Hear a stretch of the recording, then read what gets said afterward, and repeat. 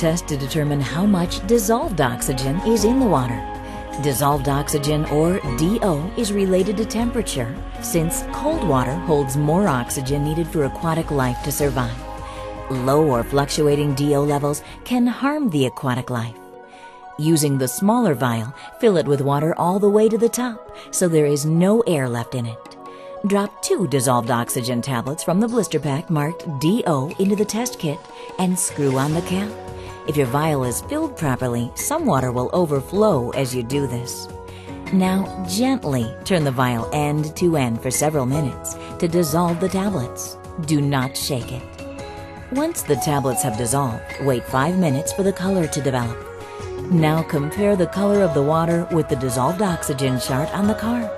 Select the color that most closely matches your water sample and note the value 0, 4, or 8 ppm, or parts per million. The higher the number, the more dissolved oxygen is in the water.